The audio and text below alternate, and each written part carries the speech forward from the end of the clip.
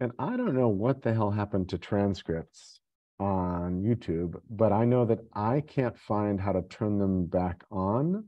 But I think that Pete has been turning them on. So I've been getting transcripts for a lot of the calls that Pete is on, although Pete is not on this call. But if anybody sees something that says create transcript, you, you, there's a Zoom function to create transcripts. I'm still trying. Yes, you got it. So uh, I hit um, show captions. Uh, and I think that that's the way to initiate more transcripts. Oh, captions. Gotcha. And then you can probably, I ah. think then you can turn it off if you don't like seeing it. I think you're totally right. I think what happened is they they hid it under captions and I was looking for anything like transcript or whatever and was missing it entirely. Bentley, thank you. And now I don't have to worry next call. Yeah. Um, because on a call yesterday I didn't turn it on. I didn't get a transcript file. And I'm like, rawr, rawr. um, so sense doing. Um, should we recap last conversation for i think only stacy wasn't here yesterday um i we could start there i kind of also want to just start with a check-in around sense doing just to see where we are before getting specific on which which projects and so forth because i, I do want to do an update on on what the options are but i kind of want to do a check-in. So anybody want to check in? So my thought i'm reading that washington post gift that uh, kevin sent around this morning that makes it somewhat clear that um, civil war is not off the table in, in, in the united states and that agitates me to want to do more sense doing at a, at a, at a, at a much much higher level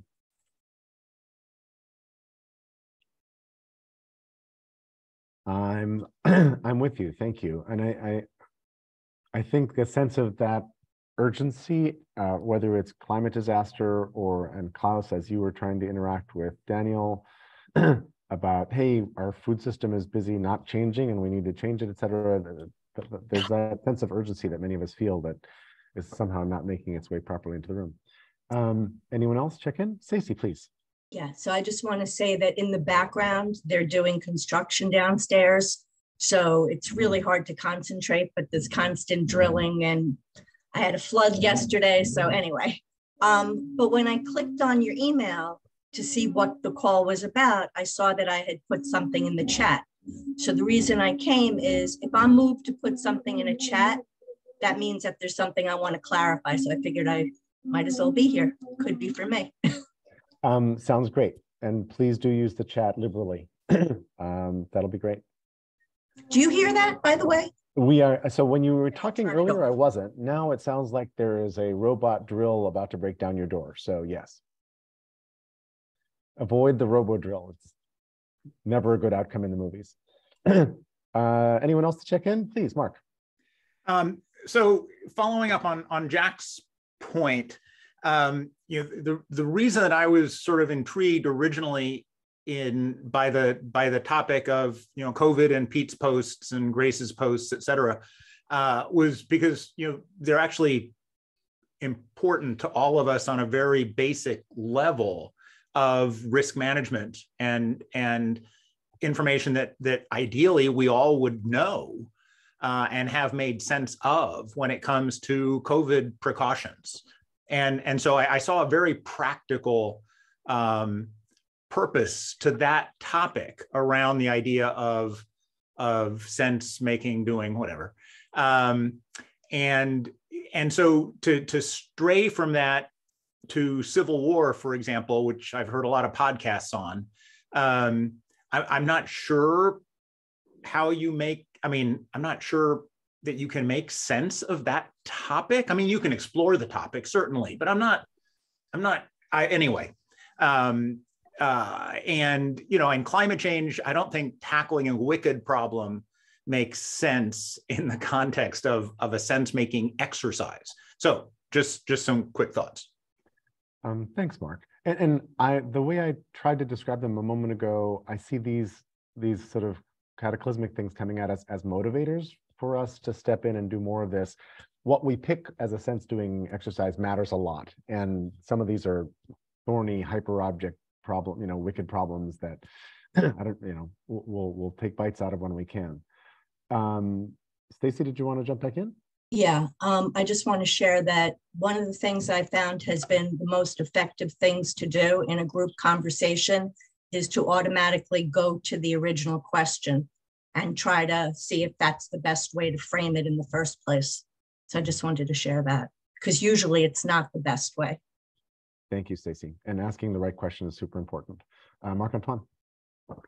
Um, to that, I must say, when you you said about COVID, let's try to understand what would have been an ideal response. And I think, on the one hand, that's a great question because often a lot of uh, comments about, oh, the government's doing this, that is like, I don't want to be in their place. Uh, backseat driving is easy. On the other hand, uh, ideal response must include the people's reaction to whatever you're doing. Uh, and, and that's the, the, the point that, you know, it's easy for us to sometimes other, or at least, you know, decry uh, other people's reaction. Totally on board with that. And, and the question of how diverse our group is remains relevant. On the other hand, certainly, you know, there's one thing that is imaginative sense making, kind of let's start from first principles and imagine something better. That's one type of question. There's a what happened here sense making, which is more about what are people's motivations and priors so that we can uh, try to repair a broken dialogue. Uh, they are very different exercises, possibly requiring different tools. I don't know. Uh, and that's why being clear on whatever question we want to ask matters a lot. Thanks, Marc Antoine. Uh, Bentley? Uh, yeah, I, I would um, kind of expand that a bit in what we've been saying here to say that it's really the first question because we're not going to we're, I don't think we're going to stop with just one sense doing. So it's more of a prioritization than saying what's in and what's out. Um, would be my suggestion. And then, um, yeah, it, it can involve a large topic, but we do need to probably take a part of it that's not quite as wicked to start with. And I really think the smaller is better. Every time I've done something similar to this in the past, the question's always been too big. Um, but yeah, those are some thoughts. Thanks. Uh, Klaus, do you want to check in? Yeah, sure. Um, yeah, I mean, maybe um, following up on what Mark was just saying, um, just from a very practical perspective, I'm just working on our next webinar, actually on our first webinar with this new company we just formed and the, the topic is soil and water you know and bringing attention to the need to to the linkage between healthy soil and and and water you know the absorption capacity and holding capacity of water to to soil. And as we are recruiting a panel i have uh, one guy on there who who uh, owns a hedge fund company I have Land, uh, Land O'Lakes, uh, a panel on there, which is a dairy company, you know, that has its own farmers and so on. But the the, the challenge that the, my partner and I discussed is that by and large, the industry is not up to speed about the complexity, severity of a changing climate and the impact that will have on the entire industry. So the the so we we we are bringing the, the, the top, and I just had a conversation this morning with the with this guy from the uh, from the hedge fund. The challenge is to bring the conversation down to common sense uh, uh, statements, right? To where you can explain to a layperson um, what this means and how to engage with it. Um, so sense making is really uh, simplifying complex things and putting them into terms that that anyone can follow and understand. because we can't solve problems if we don't have agreement on what is the problem. Uh, so, so the and this is the theory, theory U uh, uh, uh, philosophy, right? The the social uh, social systems change management idea of theory U is that the first uh, the first major time you spend on the iceberg model, right, is to climb out and understand what are you all looking at. And you can't come to a stage of presencing until everybody sort of gets the big picture stuff. And so we have a tendency to get lost in, in details, get lost in technical perspectives, and to climb back out of that and, and get on top of what, what is the big impact here. So I mean, in my case, soil, right? It's a really simple concept. We got to repair soil. And then we can put examples around this. And then we can say, here's what it takes to do that. And then you go deeper and deeper. But there is there's a hierarchy in information. Not everything is of equal importance.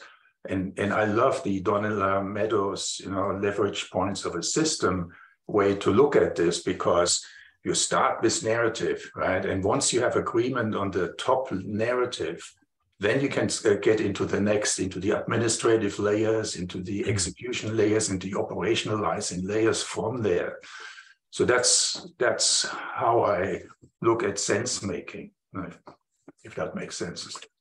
Thanks, Klaus. Um, Nancy, we're just doing a light check-in round just to see where we are about sense making and how we feel. Most everybody's gone except me and you. I'd like to go, and then if you'd like to check in, that'd be great. And then I'll and then I'll go to Mark and Bentley who've got their their hands up. Um, I'm in a I'm in a kind of a strange place about this. Um, partly it's because Grace and Daniel have left the list or say they've left the list. Um, just when I thought things were getting interesting, and I, I, I have in my head I was influenced a lot by Scott Peck's model of community building way back when that says most communities are in pseudo community.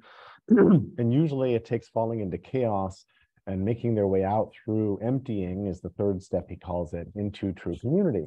And emptying is a little bit feels like group therapy maybe but isn't group therapy. And it's it's a way of saying hey when you did this i felt this and then you sort of find your way into a new place. But but his thesis basically told me that it takes often pressure and crisis to actually forge interesting communities because you don't know who's going to leave how you're going to respond. You don't know about each other in those crises and so forth.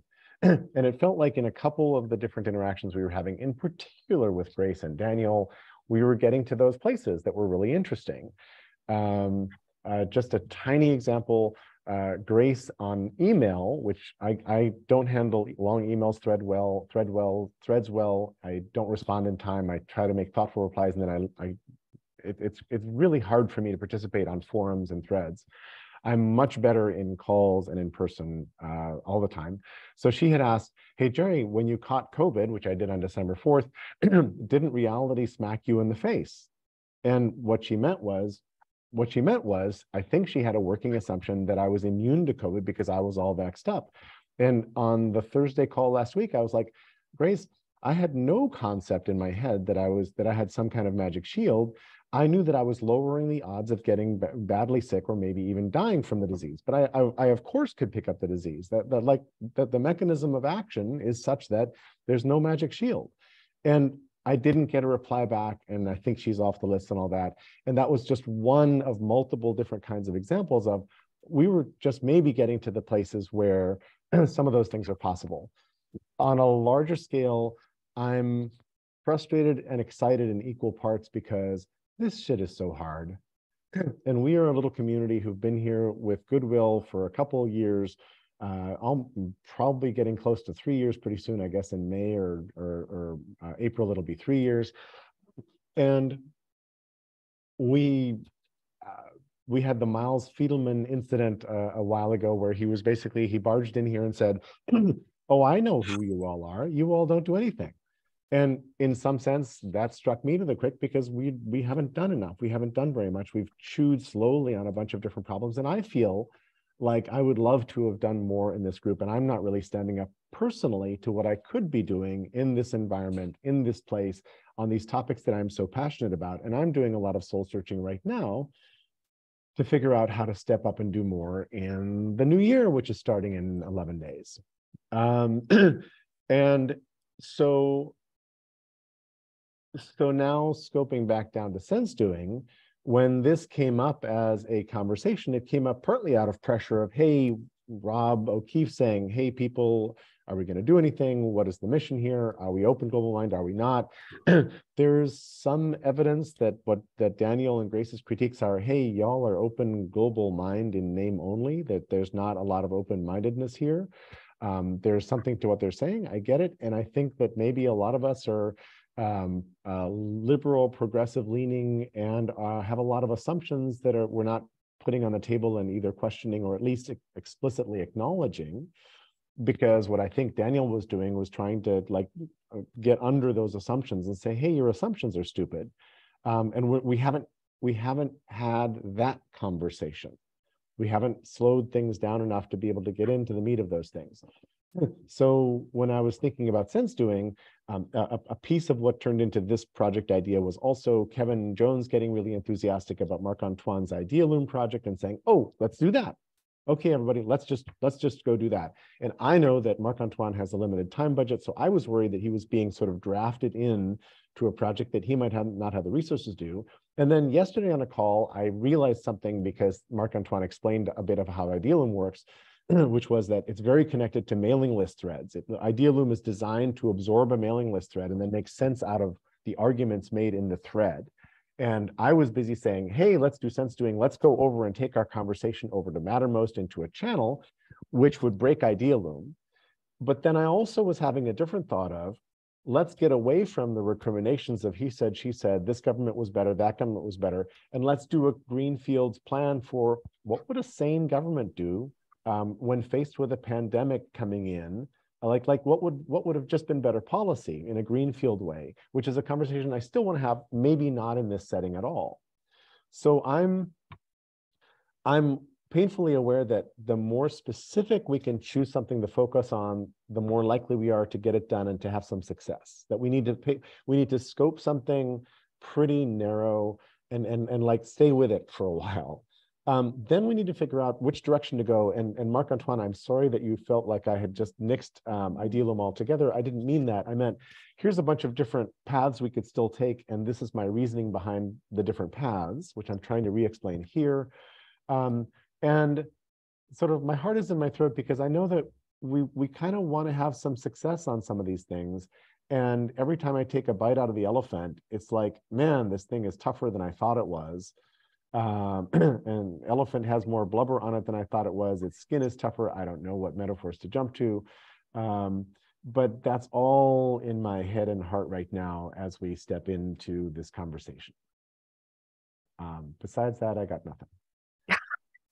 Nancy, if you'd like to jump in, the floor Well, is yours. Okay, so I jumped in because of the Idealoom idea, because it's a challenge that I'm facing in a couple of other spaces where both kind of well well formed and well contained communities all the way out to very wide and dispersed networks um, engage in interesting exchange that in the moment has value for whoever is in the moment is in it. But then either ages or if you have a slack that doesn't you have a free slack it disappears. Um, and and and and really at the practice level in in the community where we're concerned about practice at the practice level those are gems case stories, um, examples of riffs and variations, all those things are a huge augmentation for the practice and help develop the practice further. But they only benefit those who are in the moment in that second, which is those are beautiful moments. So there, there's the, the importance of that engagement.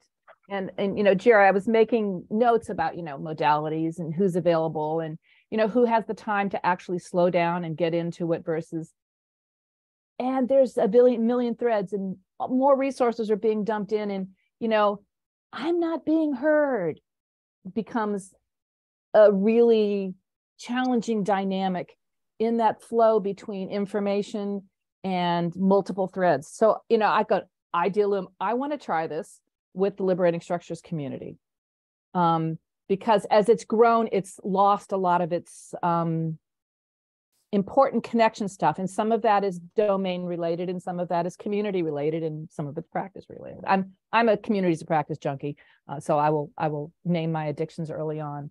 Um, though I'm very sad to hear all this stuff about chocolate, but I won't get into that today. Um, so, and Lucas Cioffi, who is at QiqoChat, and Fisher Qua, and I were happy to have a conversation about this right when this came up in the thread.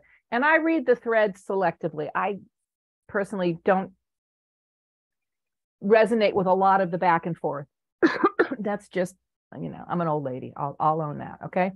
Um, and they said, oh yeah, uh, totally. You know, this is really much in alignment with the with the challenge we're facing. And you know, Lucas said any kind of connective tissue that he could help design or build. I mean, that guy's so generous. He's, you know, it's like an idea. I think it'll work. Let's do it. I mean, it's just tremendous. So like how could that link into QiqoChat or whatever? Um, and and again, linkages are the point here in the end, right? So when it became about COVID, that that's and, and that whole thing um, emerged with Grace, I'm thinking, okay, this is where we do actually need to pick things apart here, because we're dealing with too many different things at once. So, you know, Jerry, when you say let's start do something very discreet, um, I, you know, I think in my liberating structures, the 15% solution. What is one step that I can take that was in my control? I have the resources for. I don't have to ask anybody's permission to do. That we can do and see what happens. and so um, it, it it would be it would be very interesting to set to take a topic or a subset of the community or something else do this kind of what happens when we look at those threads in a different way and just reflect on how those threads look in a different way. Because I suspect, I do not know, that many of the challenges we have with the community dynamics have to do with how we perceive those threads, or we're dipping into our email and we're doing something else. And then someone starts a new thread, or someone changes the title of the thread, and all those other dynamics begin to emerge. But if we could actually say, okay, what was in that conversation? What patterns do we see? And, you know, Jerry, this is, I think, the crossing of modalities that you talked about, which is the asynchronous is the kind of gathering, the throwing the spaghetti on the wall, the pulling in.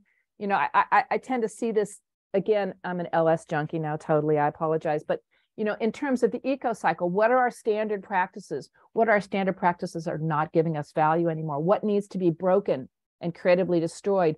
What needs to be networked out in that, you know, I, I call that the Jerry's brain quadrant, you know, like a million ideas. what and how do we get some of those million ideas out of the scarcity trap and into the uh, birth? Okay.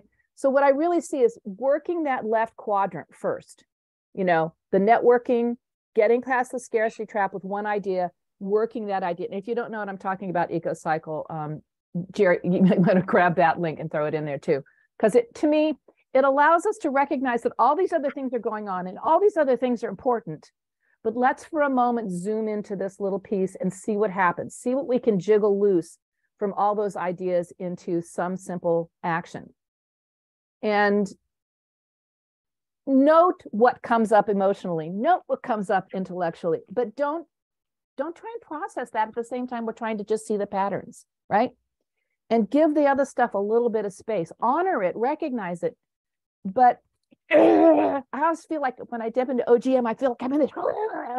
Is there's so much going on at the same time that I I can't settle with any of it. It and then I go like this, right? And I don't think that's an unusual feeling in any email. I mean, I see it in the other communities I'm active in, um, and it's only in the very mature communities who've learned that the stew doesn't happen in the email list; it happens elsewhere then they can just keep on going on and things are fine and those other things are happening in other places where they can have the kind of attention uh, critical thinking or even tenderness that just doesn't exist in that bloop, bloop, bloop, bloop, bloop. speech over. Um, before going to mark and bentley i just would like to take us into a moment of silence so we can process all that. That was really lovely nancy. Thank you.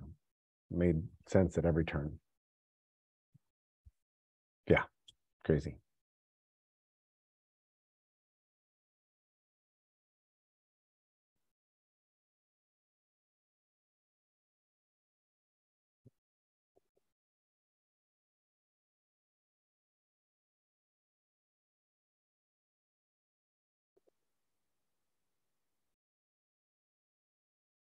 Mr. Trexler.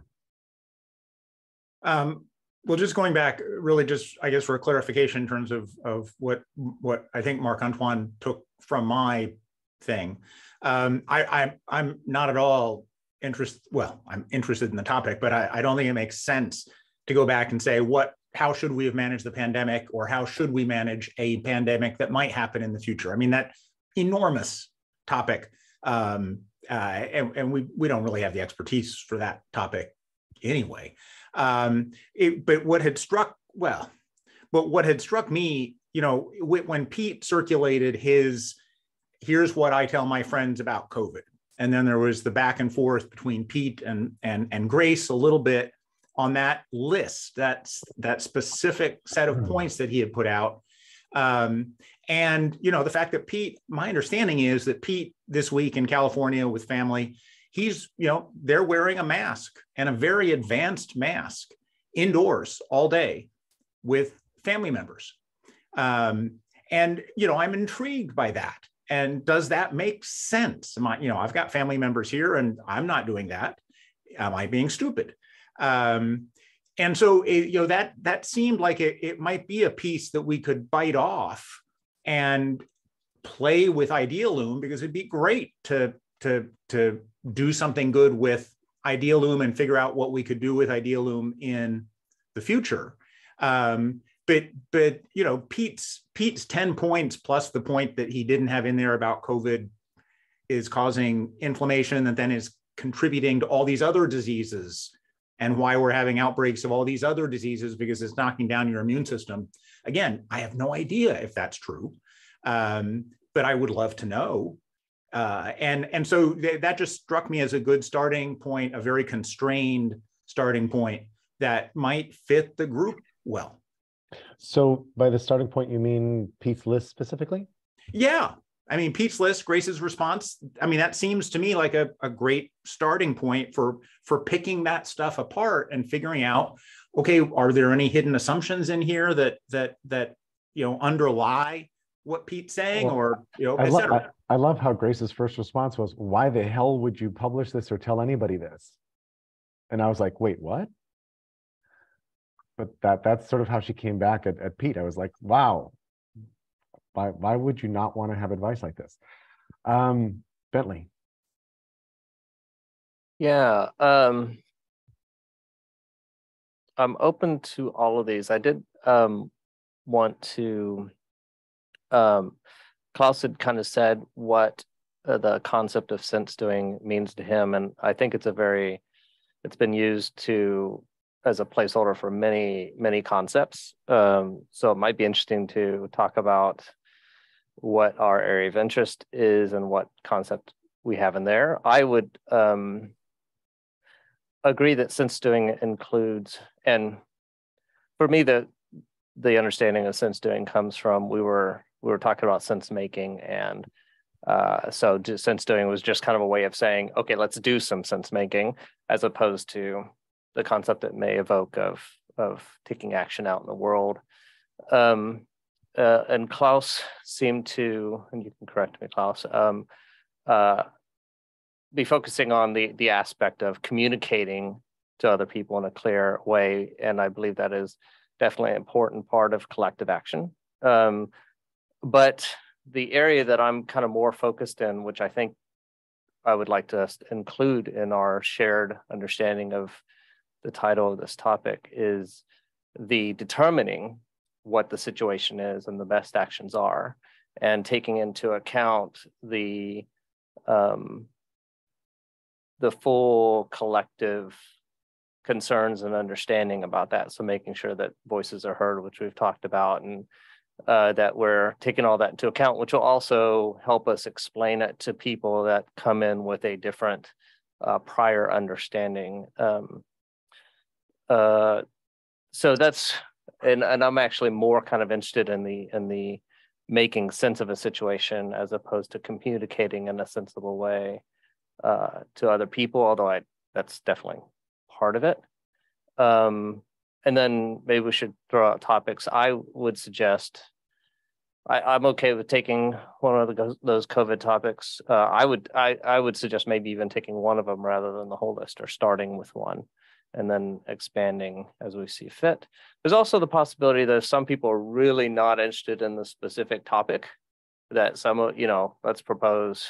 I don't want to actually like split us, but um, if there's another topic someone's passionate about than other people, they can still raise it. And other people, it's not like we're saying you can't have can't do sense making about this other topic. But um, if you really, you know, uh, that may be something we may consider that some people may be willing to participate at two at a time but just a thought.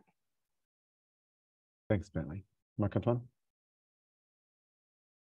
Uh, somebody pointed out uh, earlier what are definitions of sense doing indeed and uh, yes indeed nancy what is the purpose because i was uh, i was once we were uh, in a project in which idealoom then Assembl was conceived uh, Simon Buckingham and Shum was in, involved, and he presented a model of collective intelligence as being on a spectrum, which later became a spiral, but from collective sensing, collective sense making, collective ideation, collective decision, and collective action.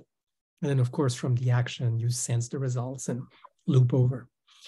Uh, and collective action is a very different type of tooling and a diff very different type of, you know, what are we trying to do and how are we doing it?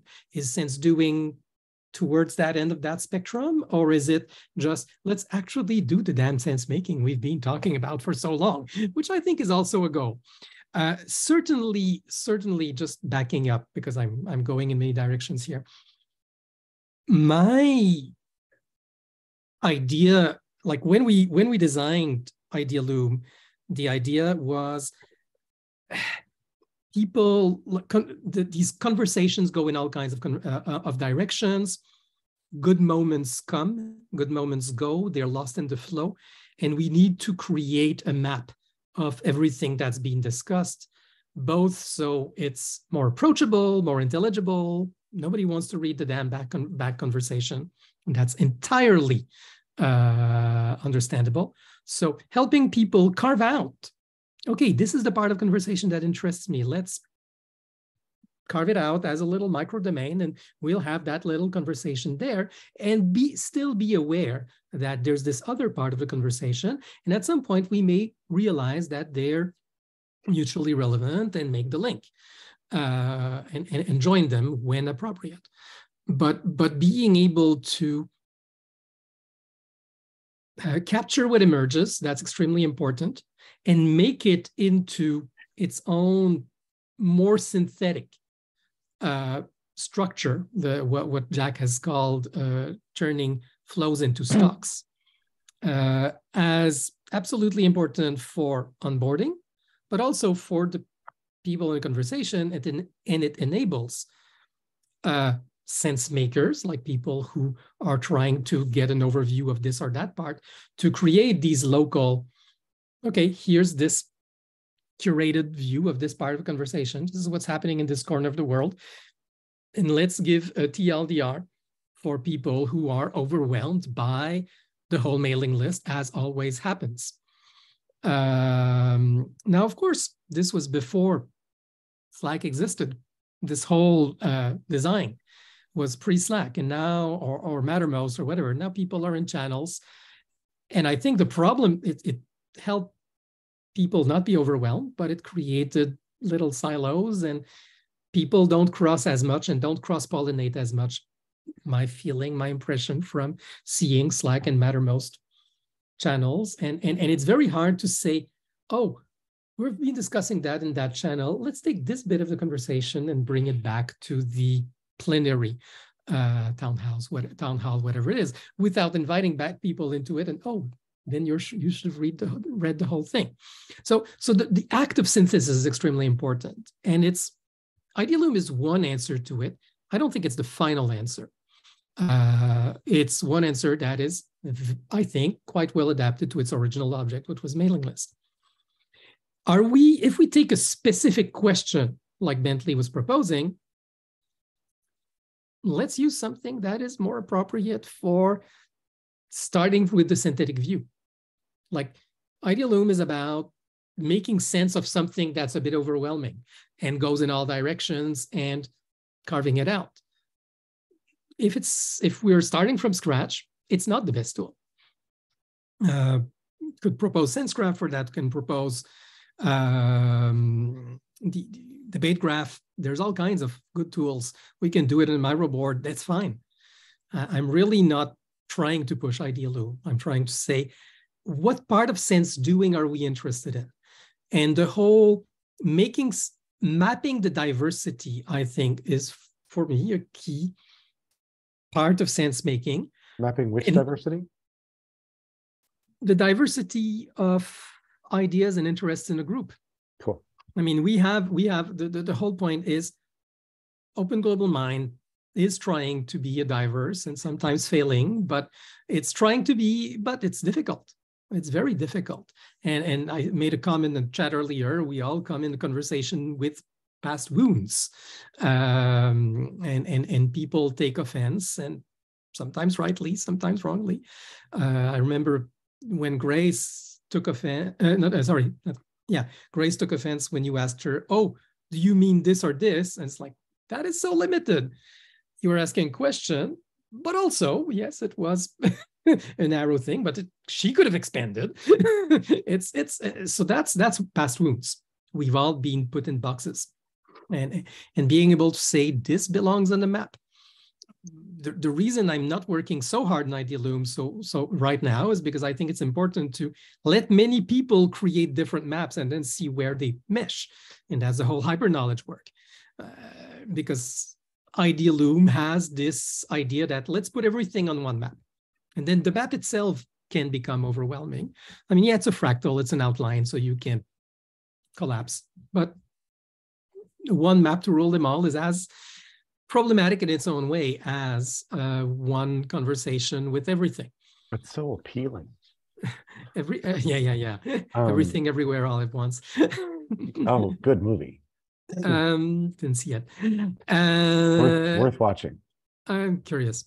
Anyway, I'm going a bit again in all directions, but I really want us to refocus on do we want to focus or do we want to see how broad the universe is? And those are totally both important goals, but we have to choose.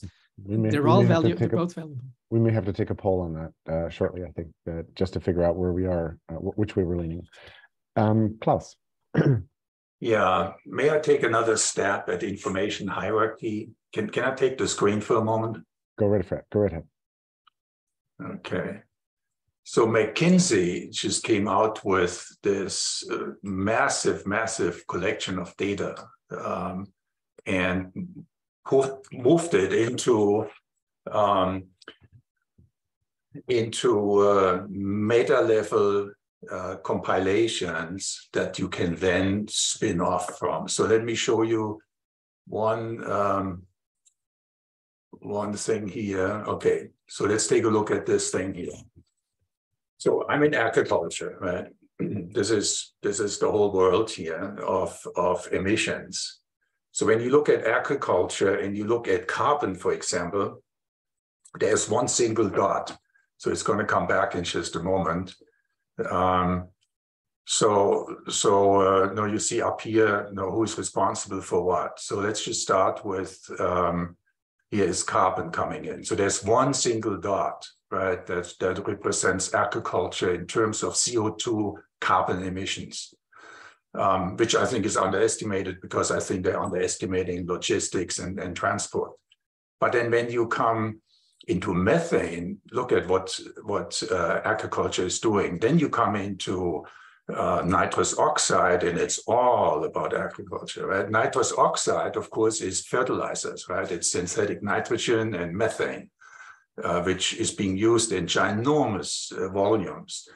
So now, if I'm if I'm looking at this thing, where do I spend time, right? Where where is the biggest impact that uh, we can do in in agriculture, which contributes roughly one third of total emissions because nitrous oxide and methane is about 100 times more powerful as a greenhouse gas than is uh, carbon. Yeah. It, it lasts shorter, but it is a very powerful greenhouse gas.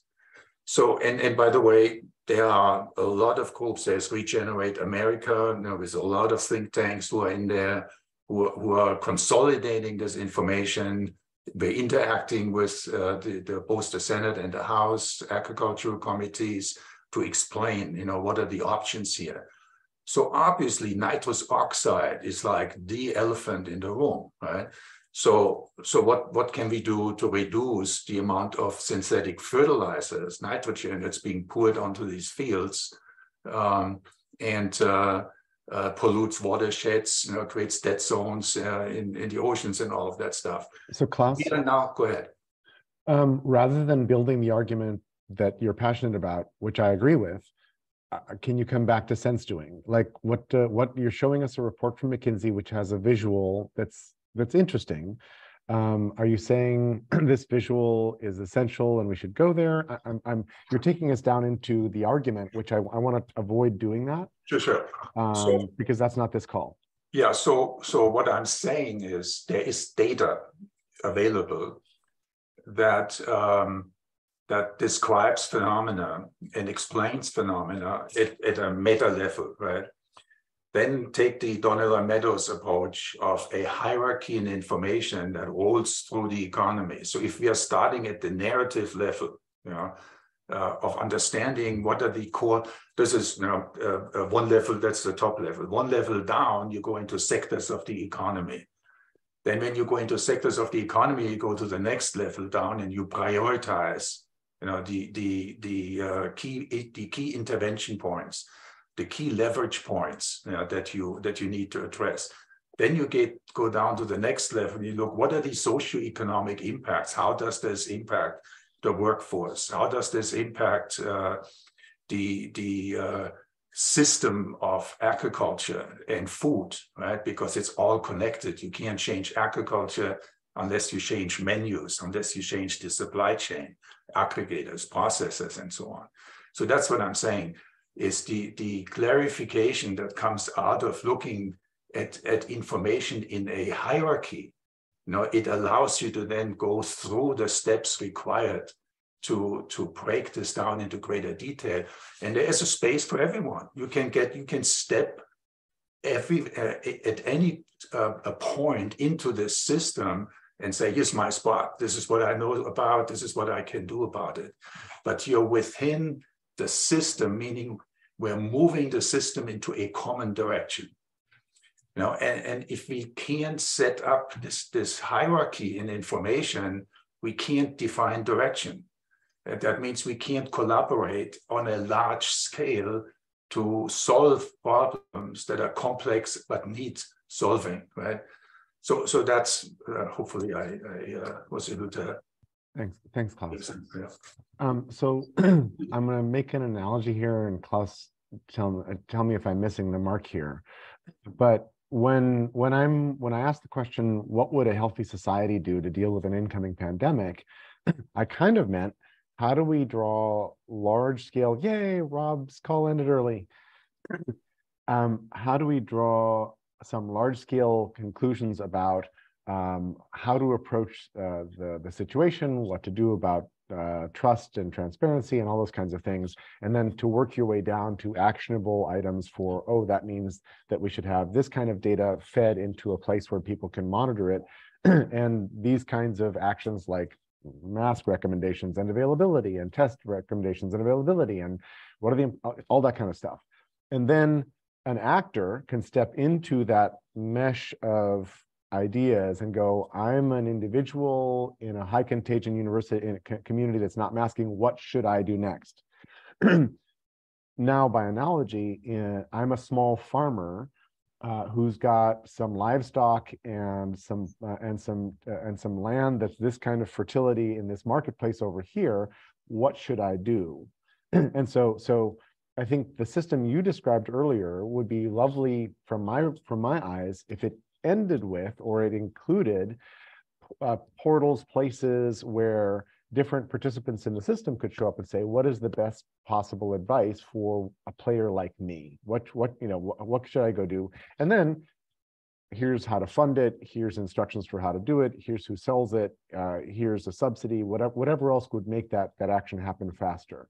So, so healthcare, COVID, uh, soil, water, uh, regenerative agriculture, I think they're, they're very parallel. They're both gigantic, thorny, uh, wicked problems, but I can see my way through being part of a much larger community that builds some assets that do that. I mean, Perfect.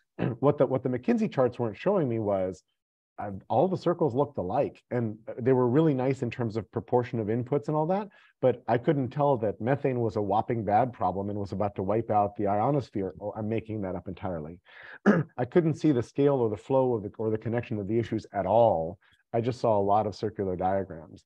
And to me we need we need a uh, a complementary set of diagrams and visualizations that very few people have done yet. I mean, I, I put in the chat Sankey, di- Sankey flow diagrams which show you, here's all the fossil fuels that we're digging up and here are all the industries and all the ways that they get used. I've seen really powerful Sankey diagrams and you're like, oh my God, okay, we should go over here and make, and you know, make this sort of discussion. Um, and that's one tool among many with the same sort of sets of data that, that you were just looking at, just seen in a different way. How do we get somewhere there. And, and, and I just described something that's much a much larger thing to bite than we can bite off. but I disagree that we're not able or don't have expertise to take a, a, swing at some piece of it. So that's that's why I'm talking about that. Well, I'm I'm I'm not arguing that we are not capable of putting taking a swing of it. My argument is putting the information into a hierarchy where you you you uh, here the, the, the overarching complex, the, the, overarching system. It's mm-hmm. like what you see here, methane and nitrous oxide are really dangerous. And agriculture is the main contributor of it, right? So that's where you start. And then you go down from there to, to build up uh, the, the, the pyramid basically of, of uh, uh, the, the economy, the ecology related to that topic. Now, and then you can get if the farmer, you know, uh, uh, in in Bend, Oregon, can then uh, step into this and see what applies to him without having to understand the entire pyramid. Yeah. Um, thanks, Klaus. Nancy? Unmute myself because I'm coughing a lot. So, so I, I want to take something down to this, like, and my research question is, how does a large, hopefully diverse, sometimes um, pugilistic community uh, see, understand, and use its conversations for some purpose? And so with OGM, I think the first question is over an, a year, let's just take a year. Over a year, what was this community interested in? Where did those conversations go? Did any of them come to conclusions? Did any of them suggest action? Did any of them cause um, conflict? Did any of them cause creative abrasion, which I would say is, you know, the two, the yin and the yang of, um, and and just look at an X period of time and notice what was our practice, what happened, because if we can't reflect on how we have been acting, it's hard to say how we might act and to build that kind of model that you're talking about with the you know using data constructively if we don't understand how we can do that as human beings as the warm part of this whole thing the rest of that is beautiful but probably won't turn into action. So what if the experiment is to reflect on what ogm has talked about by sucking out these threads doing some sense making of a month a year two years of conversation bringing that back for a conversation of how does that land for you? What does that suggest to you? Of all the things we've talked about, what's the thing that we could actually do something about tomorrow um, that could contribute to these bigger pictures? I, this is not to malign the big pictures, it's to hold the big picture with something tangible and actionable at the same time.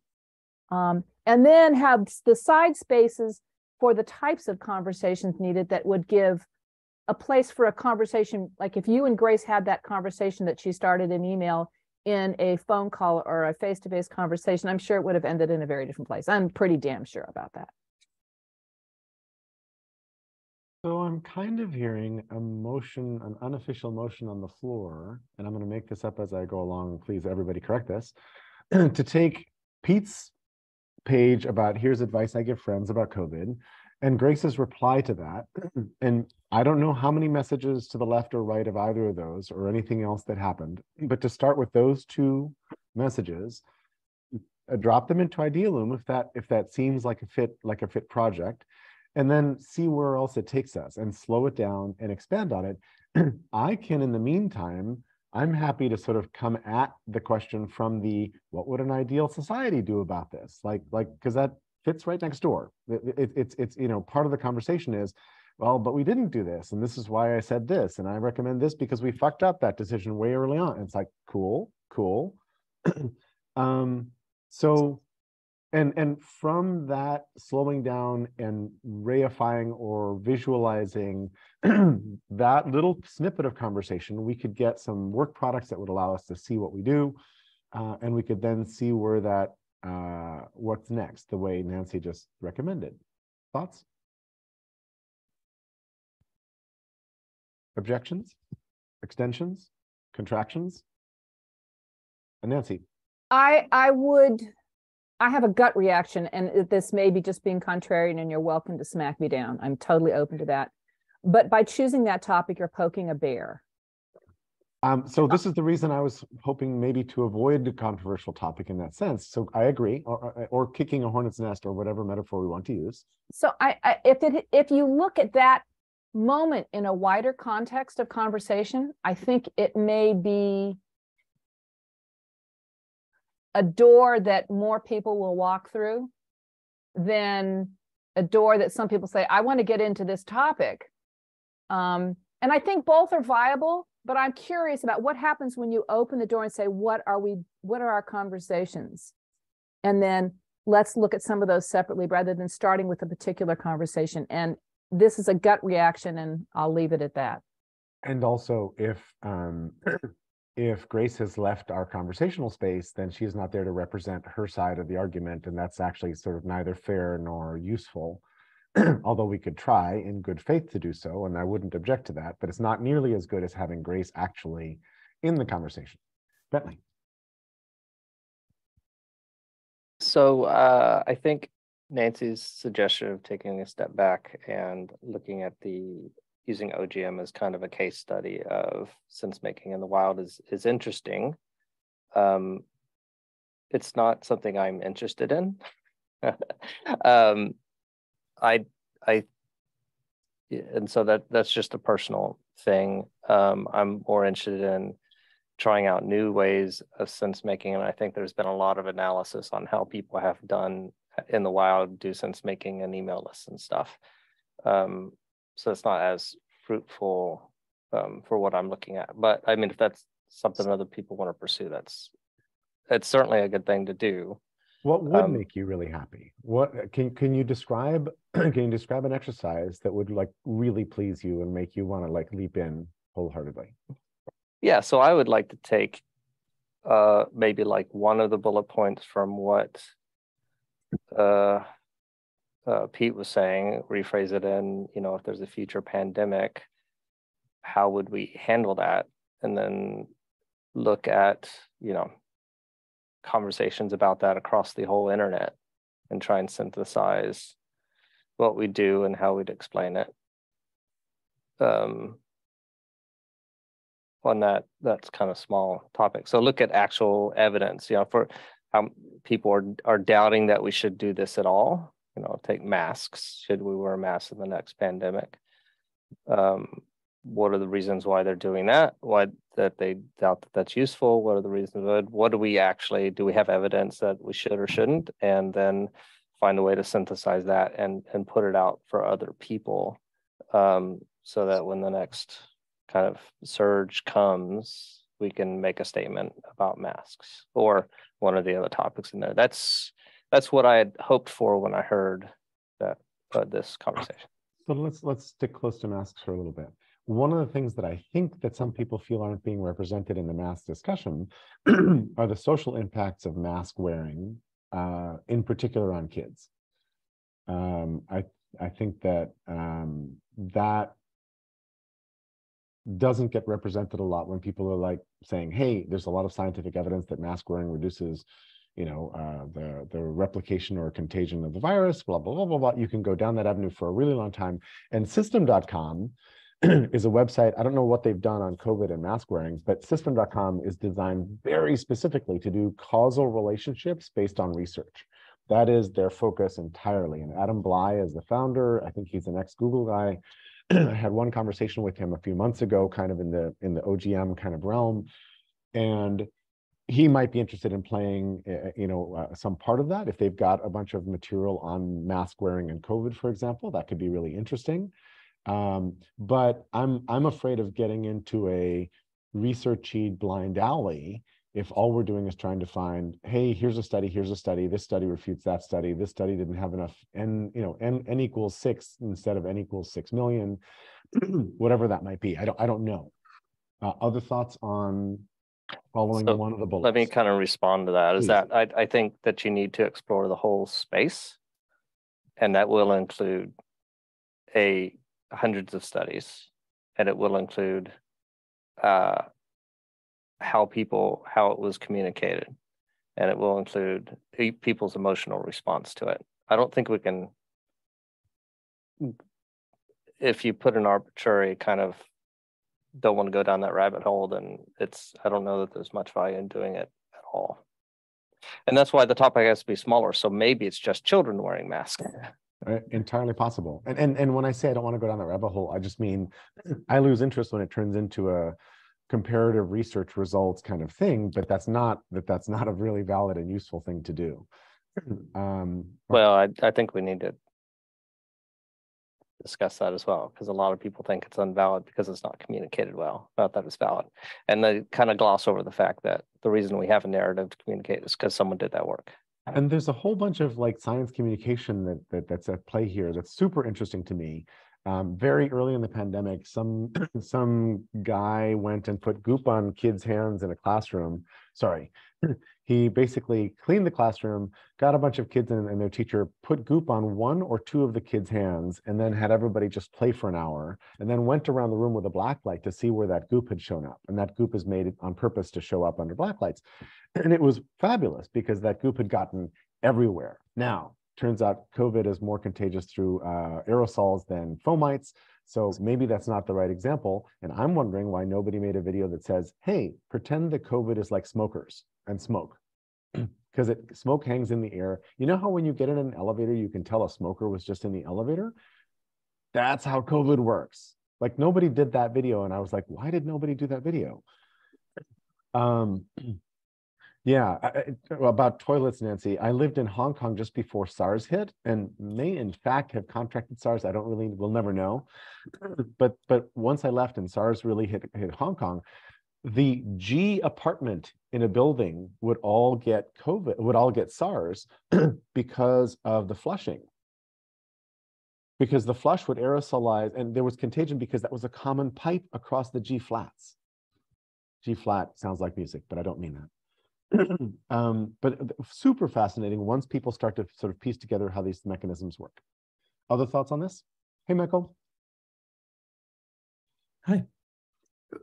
What, one thing that I'm always, I don't feel I have the right answer to that is how much does the sense making we do within a group and you know we try to collectively create that artifact that maps the group's uh, thinking which may or may not include outside thinking as Bentley is proposing.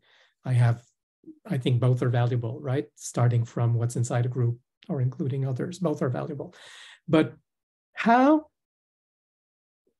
transposable is the in-group sense making to allow others to come in and say oh yeah they've done the work. We can reuse that. We can uh, found ourselves in the work they're al- uh, they've already done. I don't know. That's something that's uh, very very i'm very curious about. How much can we like we've talked a lot between me and Jack on on uh, SenseCraft to at some point being able to import a whole branch of the argument into another uh, discussion. And I have a weird mechanism to import branches between Idealoom conversations because it is something that is. Uh, it's all it's all about trust, right? And and as I said in the other conversation yesterday,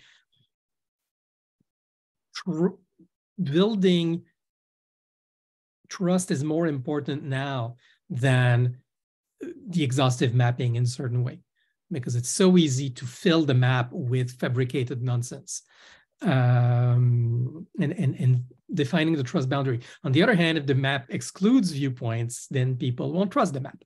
So that's the other side of that. So th this is this is for me that's a big research question. You are digging in in terrain I really love. um, uh, and Gene Bellinger um, does a lot of really good Kumu visualizations. And when I look at the completed visualization, my, my mind cannot wrap itself around them. the only way I ever really understand them is when he does a step through and says, here's the start of the cycle, then we add this, then there's this, and then there's this. and all of a sudden, with some effort and some listening and some patience, I can now start to see the dynamics. And I've never gotten to the point where then we start turning, tweaking the variables, going, hey, let's raise the number of wolves by 20% and see what that does to the system. Never done that. That would be really kind of cool. But by that time, I've run out of time in some sense. so I, I'm afraid that's true of a lot of good deep analysis and, and visualization and presentation of issues that for the people who did it, did the work, it's like really good and rich and contains tremendous amounts of information. But for outsiders, it's really hard to absorb what it means and how it works. And there's this magic art of science communication or whatever else that bridges that gap sometimes really well and more often than not that that that gap just exists that gap never happens i don't know if anybody else shares this this point of view but i see way too many explanations that look rich but are impenetrable.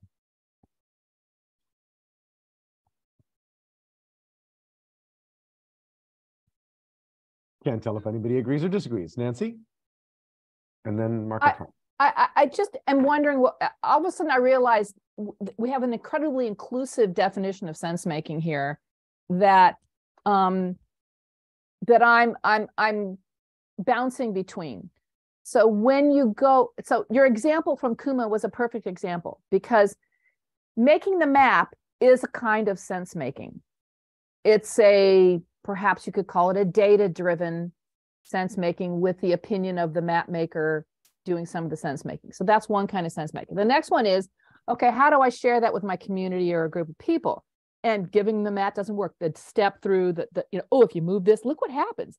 It reminds me of that Swedish guy who did all the stuff around, you know, manipulating maps so people would understand how you push one thing and another thing happens. Then the third thing, which I actually think is outside the boundary of my perception of sense making, which is communication of stuff that we have made sense of. So an infographic that goes out to a million people, that's a tool for their sense making, but that's not sense making in the in the sense that I'm oh god I'm tripping over the word sense that I'm thinking here. Um, and what I notice in conversations is some people are immediately going to the infographic. I'm using that just as a placeholder a reified artifact that makes, oh, this is why I should put a mask on my kid, or this is why it doesn't matter if I put a mask on my kid, right? Um, and but a whole lot of the sense making in that particular conversation was who do we believe and who do we not believe? It really doesn't have to do with COVID, right? It has to do with a breakdown of something in our society. And when you're sense making that, it's very different than sense making about mask data. So I think one of the, I think one of the reasons I'm concerned about the mask conversation is if you do it, we need to sense make about that societal and contextual stuff before you get to the data, or or maybe I don't know, maybe before that. Just me making up shit. You're not mm, you're not make, just making up shit. What you just said is crucial and like in the crux and in the middle of what's happening to us as a society. And if we can sort that out, then we can have some of the other conversations. But we don't we don't ever get to the hey look i have a lot of evidence that this thing is true and we should all just do this thing we never get to that. And and when, when i'm explaining ogm to a to a newbie i'm like ogm is kind of has two halves. The lower half is all geeky and about arguments and and diagramming and storytelling and all that. The upper half is is all squishy and soft stuff and it's all about trust and vulnerability and and membership and all those kinds of things. And if if the, if there's not some vestige of trust um, between the participants, then you never get to the bottom half. The bottom half is irrelevant, immaterial, doesn't matter, nobody gives a shit. Nobody will see your, your pretty chart if they don't trust you, at least a little bit enough to, ha to have that conversation. So this nexus is super important. Marc-Antoine? And I think this is why we care about the map's inclusivity. The question is, somebody comes with a concern, and the question is, how does it fit in your map? and, and, and, and being able to make that connection. And the map, obviously, to be intelligible, has to simplify and exclude things, because otherwise it's everything everywhere all at once. Nobody can understand it. So the, the one thing I've said many times with Jack is the Jack speaks of wormholes between maps. I think it's very important to be able to say, this is an intelligible whole. It's not everything. Oh, and your thing fits in this other map, and here's how the maps are connected. But the sense making, as I see it, is about making sure that everybody's inform, non-formed thought, they recognize themselves in something a bit more structured. Okay, this is what I've been trying to say oh, and here's how it fits in. It interacts badly or or well with other viewpoints, and, and but but the, the the connection between the kind of informal discourse and okay, can we make that? How does that check out? And, and, those are necessarily local views, and how the dialogue between the local views is very difficult I think one of the things we want to have happen is for others to show up and say, oh, yes, that object represents what I believe or how I think about this topic. It's a really simple response. um, and, and that object might be a chart, a chart or diagram, it might be a sentence or a statement, it might be whatever. But when this, when they can say that speaks for me, that's really good because then we know where they are in the logic map or in the point of view or whatever else. Um, I just want to tell a one minute story about misleading maps. I've only been in one jury trial in my life. It was a car and motorcycle accident in San Francisco that happened right where the Costco was. And I was the only motorcycle rider left on the jury. The two guys who showed up with motorcycle jackets with their helmets were excused by the car, the car guy's lawyer. And in the jury room at the end of the first day, an hour from the end of our time where we are going to have to come back, I figured out that the expert witness for the car was lying like a rug because he had done he had shown a, a, drawing of the intersection and he had shown where the cars were, et cetera, et cetera. And there's this dent on the door, which you know the poor motorcycle guy had a BMW, so there's this pretty print of a horizontal cylinder on the side of the door of the car. Anyway, um, it turns out that at that point in the street, which I knew because I was on the motorcycle, the street goes from being one way to being two way. And if you were riding a motorcycle to go home up uh, south out of San, downtown San Francisco, you would have been in the right-hand lanes, not in the first or second lane, which is what the car guy was claiming. And so the, the, the map was a complete misdrawing of the intersection and nobody had checked, nor did the motorcycle lawyer guy, guy check. Nobody did. And I'm, I'm like, I know this intersection and everybody's like, yeah. And so we found for the motorcycle guy, but, but the drawing was lying and I'm not sure what I did was entirely legit. Like, I don't think you're supposed to find facts in the jury room, but everybody agreed. And when I went back and looked at the intersection, I was like, yep, no way. um, so we have that as well. I'm going to have to melt off the call, I'm afraid. And I'm happy to, to turn the con over to anybody who'd like to keep going on the call. I'll try to listen to it later. And I'm, we're recording, so that'll work out just fine. And uh, probably other people need to go as well. Michael?